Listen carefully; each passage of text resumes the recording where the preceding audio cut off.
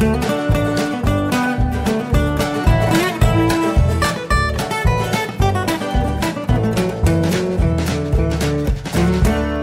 und herzlich willkommen zu Jörn Schars Feine Podcast Episode 201. Ich bin Jörn Schaar und ihr seid es nicht. Heute klingt es ein bisschen anders als sonst, äh, nämlich nach äh, draußen. Na, hier sind Vogelstimmen, äh, hier sind äh, Menschenstimmen, hier sind Autogeräusche. Vielleicht haben wir noch das ein oder andere Nebelhorn mit auf der Aufnahme drauf. Hintergrund ist, ich sitze gerade auf dem Campingplatz in Kiel-Falkenstein in unserem Wohnwagen und ich habe hier so ein bisschen mein mobiles Equipment aufgebaut, das dringend noch mobiler werden muss. Also das Zoom H6 funktioniert ja super. Ich habe es jetzt aber an das Notebook rangeknuppert, weil ich äh, im Lauf äh, der nächsten Tage noch zwei andere Podcasts aufnehmen muss, für die ich mich äh, übers Internet mit anderen Menschen verbinden muss. Und ähm, da ist es dann, äh, das wollte ich mal ausprobieren. Ich habe gemerkt, es muss noch mobiler werden. Ich muss also noch mehr ähm, davon wegkommen hier, dass das hier so viele Kabel sind. Erstmal haben wir nicht so wahnsinnig viele Steckdosen ähm, und äh, der Kopfhörerverstärker, der limitiert mich insofern, äh, als ich jetzt auf den Innenraum des Wohnwagens beschränkt bin. Ich wollte mich eigentlich gerne nach draußen setzen, aber ähm, dadurch, dass sich der Kopfhörerverstärker Strom braucht, klappt das nicht ähm, und dann muss ich drin sitzen, ähm, was vielleicht auch ganz okay ist, denn draußen ist es noch relativ frisch.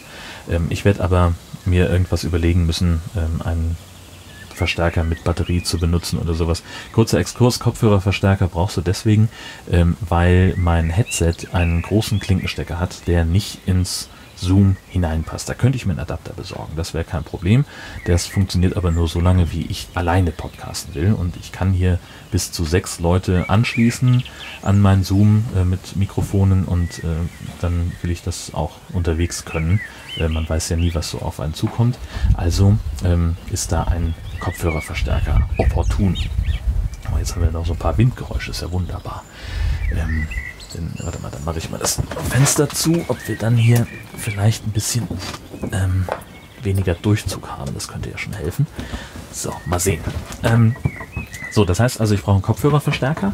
Äh, der, den ich habe, der ist total super, weil da äh, vier große und vier kleine Klinkenstecker dran sind. Das heißt, ich kann bis zu acht Leute mithören lassen ähm, oder deren Mikrofone auch hier einstecken. Und ähm, das möchte ich auch mobil können. Das heißt, es gibt auch welche solche Kopfhörerverstärker, die so einen Batteriebetrieb haben. Und dann bin ich halt nicht unbedingt darauf angewiesen, dass genug Steckdosen in der Nähe sind. Das ist also der Plan. Das muss noch passieren. Äh, ja, Campingplatz ist das Thema. Ähm, wie gesagt, wir sind in, ich bin in Kiel-Falkenstein. Äh, bin auch gerade Strohwitwer, weil meine Frau heute noch einen Gottesdienst hat. Da musste sie also nochmal nach Husum zurück. Ähm, ist da gestern Abend schon gefahren, ähm, wegen einer Andacht die sie auch noch hatte. Ja, dann kann man ja, kann sich das ja, kann man das ja schön kombinieren. Ähm, Kiel-Falkenstein ist so unser Stammcampingplatz geworden. Wir haben also seitdem wir den Wohnwagen haben, hier jedes Jahr mindestens ein paar Tage verbracht, mindestens mal ein Wochenende hier gestanden. Ähm, einfach deswegen, ja, letztlich Zufall. Ne? Es war unser erster Platz, den wir besucht haben, als wir den Wohnwagen gerade neu hatten. Und wir mochten das hier. Wir mochten die Art, äh, wie der wie die, die Platzwarte den hier das alles führen. Ähm, die Lage ist toll, das macht einfach, ähm, macht einfach Spaß, ähm, hier zu sein. Das Einzige, also was man natürlich, also man kann natürlich auch hart kritisieren, ähm, die Waschhäuser, äh, das ist einfach oll. Das ist aus dem, das ist auf dem Stand von vor 30, 40 Jahren, würde ich sagen. Die sind sauber, da wird auch immer mal wieder punktuell was dran gemacht. Also dieses Jahr gab es irgendwie neue Fliesen äh, in, der, in den Duschen, bei den Männern zumindest. Ähm, da ist so ein bisschen was passiert, aber das ist alles nicht mehr Steak of the Art. Ähm, das, da ist, äh, das ist alles nicht mehr Standard von heute. Ähm, insofern, da müsste eigentlich dringend mal was passieren, tut's aber nicht. Und äh, ich kann jeden verstehen, der sagt, das ist äh, nicht, nicht, ist kein Campingplatz für mich. So, genauso auch das Restaurant. Das ist im Wesentlichen eine Frittierstation für Tiefkühllebensmittel. Ähm, die sind aber trotzdem, es ist ja alles sehr nett hier und sehr familiär und sehr puschelig und deswegen kommen wir gerne her. Das also zu Kiel-Falkenstein. Jetzt habe ich mir hier irgendwo was notiert, was ich heute noch erzählen wollte. Ach so, weswegen wir, also, genau, die Autostory. Ähm, Ihr werdet es vielleicht verfolgt haben bei Twitter. Letztes Mal habe ich davon, oder anders, genau, ich fange anders an. Also letztes Mal habe ich davon erzählt, dass ich daran gescheitert bin, den Wohnwagen abzuholen aus dem Winterquartier. Das habe ich nun nachgeholt, planmäßig am Dienstag. Das war alles super. Davon habe ich auch ein Foto getwittert, wie ich aus der Halle rausfahre mit dem Wohnwagen hinten dran. Ähm, und dem Kommentar zwei Stunden später sagte der Werkstattmann, ich lege Ihr Auto jetzt erstmal still. Und so war es nämlich auch. Ja, also es war so, wir haben schon seit ein paar Tagen ein bisschen komisches Geräusch vernommen von unserem Auto, ähm, nämlich beim Bremsen. So ein schleifendes oder so ähnlich. Ähm, also kein, kein schönes Geräusch. Ähm, und ich hatte noch so ein bisschen die Hoffnung, dass es daran lag, dass wir in der Waschstraße waren, die Bremsen nass waren, dass die, aber das wurde nicht besser.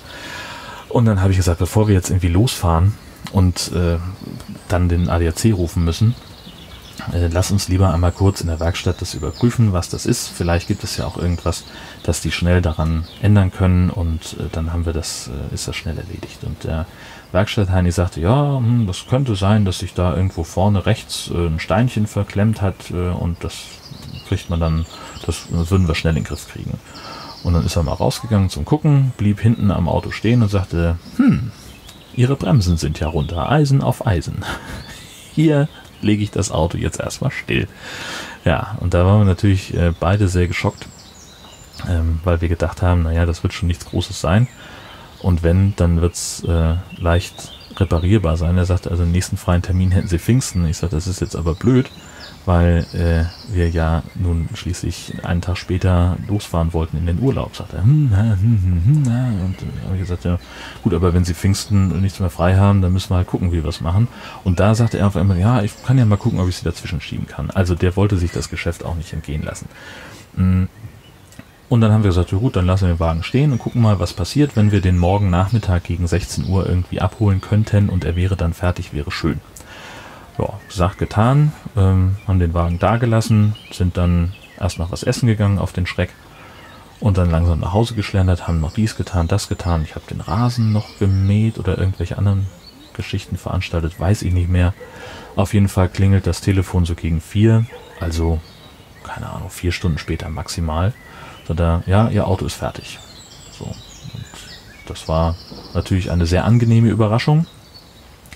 Die unangenehme folgte dann sofort, als ich nach dem Preis fragte. 500 Euro hat uns der Spaß gekostet, also hinten die Scheiben ähm, also haben sie äh, ausgetauscht, dann haben sie noch die elektrische Handbremse neu eingestellt und dies und das noch gemacht. Sagte alles sicherheitsrelevante Geschichten, so, da gibt es einfach keine zwei Meinungen, sowas muss gemacht werden. Ähm, und da waren wir froh, dass es dann auch so schnell erledigt war, dass wir also nicht so ewig lange warten mussten, fairerweise. Ähm, ja, und dann haben wir am Mittwochnachmittag äh, gegen dann schlussendlich 17 Uhr, 17.30 Uhr, weiß ich nicht mehr, das, äh, den Wohnwagen angehangen, bis wir also mal alles gepackt hatten und alles erledigt war. Ne, das dauert ja alles immer seine Zeit.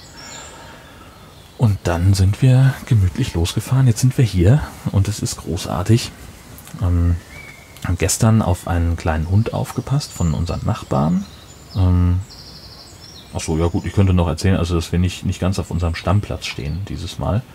Ähm, die Parzelle, die wir haben, ist deutlich kleiner als die, die, die wir sonst äh, belegt haben, aber wir wären an die andere nicht rangekommen, weil da so ein Wohnmobil ähm, relativ ungünstig geparkt hatte. Also ungünstig, ne? Der hat halt sich dafür entschieden, äh, mit der Tür zur Hecke zu stehen. Und das, dann hat er mehr Privatsphäre, das kann ich auch absolut nachvollziehen diesen Gedanken, nur dann war halt die Einfahrt zu unserer Parzelle viel zu eng, da wären wir nicht rumgekommen.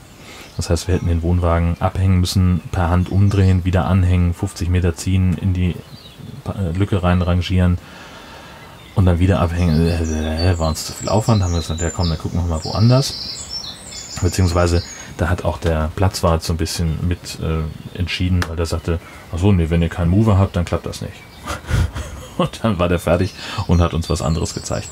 Ähm, das hat uns aber das äh, ein schönes Campingplatz-Kino beschoren, äh, zu dem ich gleich noch kommen wollte.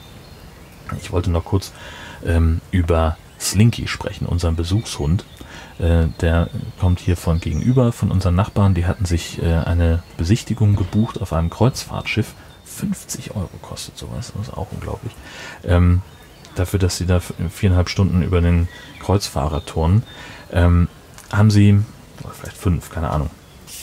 Ähm, haben sie also ihren Hund, äh, haben sie dabei und haben sich danach nach dem Buchen überlegt, so, hm, ist das schlau, den Hund mitzunehmen auf so ein Kreuzfahrtschiff? Keine Ahnung.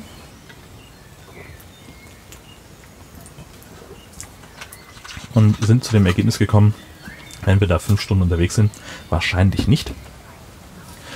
Äh, fragen wir doch mal die Nachbarn, die haben ja auch einen Hund, ob die uns dann kurz mal nehmen würden. Und äh, natürlich machen wir das. Ist ja völlig klar. Und so hatten wir einen kleinen Besuchshund, der uns äh, ab halb zehn ähm, dann hier besucht hat und äh, der hier über Tisch und Bänke gegangen ist, weil er das offenbar von zu Hause kennt. Also unser Hund war ein bisschen irritiert, deswegen so, das war ja alles, glaube ich, viel zu hektisch. Ähm, aber der war super, also der war äh, ein echt guter Kollege, keine Frage, äh, hat sich ordentlich benommen, ähm, hat aber Herrchen und Frauchen doch ziemlich vermisst. Also der hat äh, eigentlich die ganze Zeit, wann immer er konnte, irgendwie am Fenster gestanden und rüber geguckt, um sicher zu sein, dass sich da nicht doch irgendwas bewegt und die ihn einfach nur vergessen haben, wieder mit nach Hause zu nehmen oder so. Also das, äh, ja, hat mir fast ein bisschen leid getan. Aber es waren ja auch nur ein paar Stunden. Ähm, und dann haben wir ihn gegen, weiß nicht, halb drei, 20 vor drei ähm, wieder rübergebracht. Da kamen die auch gerade, also es war alles total super. Ja, ähm, dann hatten wir, wie gesagt, diese äh, Geschichte, dass wir, ähm, achso, ich war beim Golfen, ähm, denn ähm, an Vatertag ist immer auch Bierfest in Kiel, das Fest der Biere ähm, am Bootshafen. Und das zieht äh, unter anderem meinen Bruder immer nach Schleswig-Holstein, der äh, jedes Jahr mit seinen Freunden hier St äh, Station macht für vier Tage. Und dann sitzen die fast komplett die Zeit über am Bootshafen in der Sonne und trinken Bier und philosophieren über die Welt. Und äh, weil man das eben dann doch nicht ausschließlich machen kann, haben sie gesagt, dann, dann gehen sie seit Jahren auch immer auf einen der öffentlichen Golfplätze hier in der Gegend. Und weil einer von denen sehr, sehr nah an unserem Campingplatz dran ist, habe ich gesagt, dann äh, holt mich doch ab. Ich habe Golfsachen dabei, dann spielen wir eine Runde. Und das war endlich mal wieder, das war mal dringend notwendig. Ähm, Golf spielen habe ich ewig nicht mehr gemacht. Und ähm, ich habe auch ehrlich gesagt keine Ahnung, wie meine Punkte waren. Da geht es auch nicht drum. Sondern ich wollte einfach mal wieder auf Platz. Und wenn es auch nur der Kurzplatz ist, steht egal. Ja, das war echt gut. Eine der schönsten Geschichten hier war dieses Campingkino was wir hatten. Ähm, wie gesagt, die Parzellen auf, in der Reihe, in der wir stehen, sind sehr, sehr klein. Und ähm, dann kam hier ein, ein Pärchen an, also wir kamen von der, von der Hunderunde. Ich springe gerade so ein bisschen zeitlich durch die Gegend. Wir waren also mit Slinky und unserem Hund unterwegs und hatten, ähm, kamen gerade zurück und da stand ein, ein Wohnwagen neben uns in der Parzelle genau so, wie wir nicht stehen durften. Ähm, nämlich quasi quer zum Weg. Und äh, weil die Parzelle so klein ist, ragte die Deichsel eben in den Weg hinein. wir haben uns noch gewundert, warum die so stehen dürfen und wir nicht. Ähm, das klärte sich dann äh, relativ kurze Zeit später, als nämlich der Platzwart vorbeikam und sie darauf hinwies, dass das so nicht geht und dass der Wagen so stehen müsse wie unserer. Ähm, und das war, äh, das war dann im Nachgang sehr witzig, weil die erstmal versucht haben, mit ihrem Mover das Ding da rein zu rangieren und es nicht hinbekommen haben weil sie aber auch aus irgendeinem Grund wohl nicht wollten, dass die Deichsel vom Wagen in der Hecke ist. Ähm, so haben wir es nämlich gelöst. Ähm, ja, und haben sich da also gegenseitig angegiftet und waren, denke ich, auf dem Platzwart, was das denn für ein Idiot ist und das ist doch kein Urlaub so und bla bla bla bla bla. Natürlich war es dann in der Zeit Mittagspause.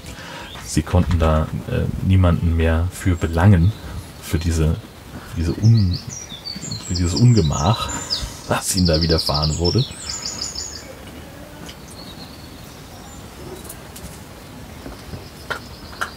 Ähm, also haben sie dann irgendwie, irgendwie auf zwei Getränkekisten gesessen, sprich, die haben sie nicht mal Stühle rausgeholt und haben dann immer so geschrieben, jetzt müssen wir noch eine Stunde warten, bis der Idiot wieder da ist. Und am Schimpfen, wie die Rohrspatzen. Ähm, und als wir dann das nächste Mal wieder kamen von unserem Ausflug, ähm, da waren sie, war der Wagen weg. Ich weiß nicht, ob sie sich einen anderen Platz zuweisen haben lassen ähm, oder ob sie, ob sie wirklich abgereist sind. Ich würde ihnen beides zutrauen, ehrlich gesagt. Aber das war sehr, sehr witzig zu beobachten. Ja, zum Steckerumbau bin ich bis jetzt noch nicht gekommen. Hat ja letztes Mal erzählt, dass ich ähm, den ähm, Stecker von unserem Wohnwagen umbauen möchte. Ähm, von 7 auf 13 polig, äh, weil mir diese Adaptergeschichte einfach, das, das ist irgendwie wackelig. Das, äh, also der hält und der tut, was er soll, das funktioniert alles einwandfrei, aber irgendwie fühlt sich das falsch an und ich habe auch Bock, das zu machen. Ähm, ich wollte eigentlich noch zum Baumarkt, das habe ich aber verpasst und vergessen. Ähm, an inzwischen drei Gelegenheiten habe ich immer wieder nicht dran gedacht, äh, mir das passende Werkzeug zu besorgen. Ja, also ich möchte halt äh, mir dafür eine Abisolierzange und eine Quetschzange kaufen und Kabelschuhe, um das ordentlich zu machen, weil ähm, in dem Video, was ich gesehen habe, äh, wo das demonstriert wurde und wo ganz klar war, dass es äh, maximal sieben Minuten dauert, das zu ändern, äh, diesen Stecker umzubauen. Ähm, also mir ist klar, dass ich länger brauchen werde. Ich habe auch vor, das äh, Aufnahmegerät mitlaufen zu lassen, um euch an meiner, an meinem Scheitern teilhaben zu lassen. Nee, also es ist ja alternativlos. Ne? Wenn ich jetzt anfange, den Stecker umzubauen, dann muss ich das auch hinkriegen. Dann ist der Stecker einmal ab. Dann muss der halt irgendwie auch wieder dran. So. Das muss also funktionieren. Das ist das Schlimme daran. Und deswegen möchte ich es gleich richtig machen. Ähm, und in dem Video, was ich gesehen habe, war deutlich zu erkennen, dass das eben kein Draht ist, der da mit Plastik ummantelt ist, sondern ähm, so Litzen, also viele kleine Drähte, die zu einem verzwobelt sind. Und äh, ich finde es immer sehr, sehr schwierig, äh, mit denen zu arbeiten. Deswegen möchte ich Kabelschuhe haben. Also solche kleinen, ähm, ja, so, so ein Plastikdings, wo man die Litzen reinsteckt und vorne ist so ein, so ein Metallpin, ähm, den man dann eben so, Entschuldigung, auf den Tisch gehauen aus Versehen, vor lauter Argumente, vor lauter Gestikulieren. Diesen, diesen Metallpin da, den quetscht man so zusammen verkrimmt den und äh, dann hat man da so eine formschlüssige Geschichte, da rutscht nichts mehr raus und man hat eben ein Teil, das man ähm, festschraubt und nicht eben 20 Litzen. Ja, das nervt ja auch nur.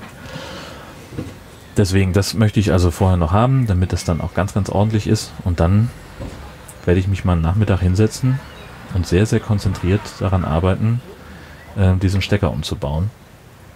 Und ich hoffe einfach mal, dass das auch, also es, es sieht in dem Anleitungsvideo, ähm, ja, natürlich macht es da ein Profi, der weiß, was er tut, ähm, aber gefühlt würde ich sagen, ist das nicht ganz so wahnsinnig schwer. Sage ich jetzt. Ich werde euch, wie gesagt, auf dem Laufenden halten und möglicherweise gibt es ein Audiodokument davon, wie ich äh, furchtbar fluchend ähm, erzähle, wie scheiße das alles ist und was das für eine bescheuerte Idee war. Aber mal gucken. Ich weiß gar nicht, ob ich dazu komme, nächste Woche Sonntag eine neue Folge aufzunehmen. Könnte sein, dass die sich ein bisschen verspätet. Ähm, muss ich dann mal sehen. Ähm, wie auch immer, es wird eine neue Folge geben von Jörn Schaas für einen Podcast. Bis die erscheint, wünsche ich euch eine fantastische Zeit. Vielen Dank fürs Zuhören und bis bald. Oh, ich glaube, wir kriegen neue Nachbarn. Also Campingkino, Popcorn.